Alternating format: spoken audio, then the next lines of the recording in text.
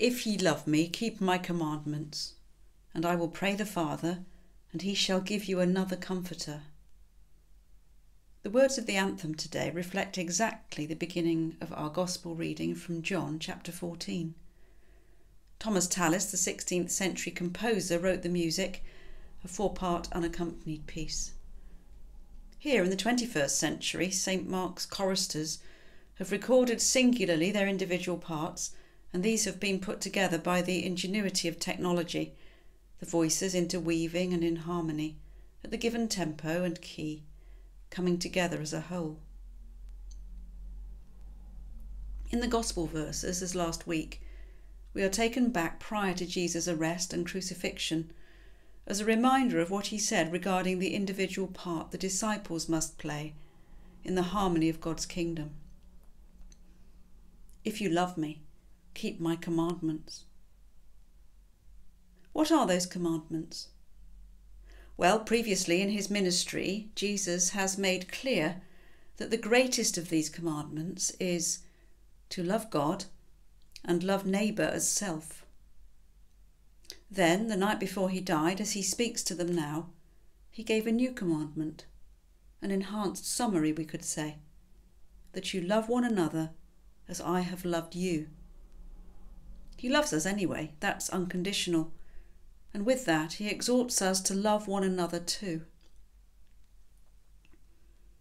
By the power of the Spirit, the Comforter he mentions, it is well worth reminding ourselves, in the here and now, that the way we treat one another individually makes a difference to the whole, not only in allaying discord, but also in bringing life in its fullness. There were just a few monks left striving to keep the monastery going. They were good monks, really. Devout, but rather tetchy and critical of one another in their struggles. One day a rabbi, a wise and holy man, came to the monastery for his retreat. The monks were discerning what God wanted of them, where they were going, what the future was for this monastery. They couldn't agree. Some felt so inadequate and the prior thought he had all the answers, but clearly it wasn't working. They came up with an idea. Let's ask the rabbi what he thinks. So one of the monks was sent to the retreat house and asked the rabbi. The rabbi said, I really don't know what you should do, but I can tell you this much. The Messiah is among you. The monk went rushing back. Do you know what he said? He said that one of us is the Messiah. They all looked at each other and looked at themselves. Even the prior said, Who is he talking about? Which one? It changed their whole way of interacting as each thought of the other, he might be the Messiah, or is it him, or is it me? Whatever. There was a new reverence, appreciation, and openness.